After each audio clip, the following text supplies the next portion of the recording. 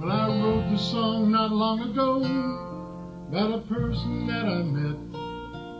A real cowboy girl through and through, one you will not forget.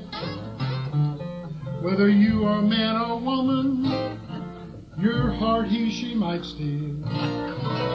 Whether you are wearing boots and jeans, or mini skirt and heels, because he's Gene the cross-dressing cowboy. Boots and hats. Sometimes he wears skirts and flats. He's Gene the cross-dressing cowboy.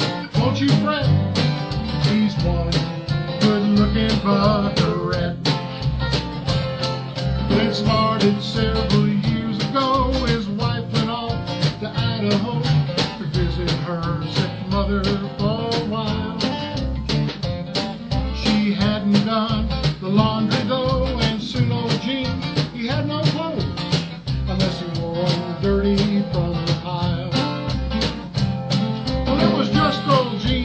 around the house, so he tried on panties and a blouse, till he got the look that he desired.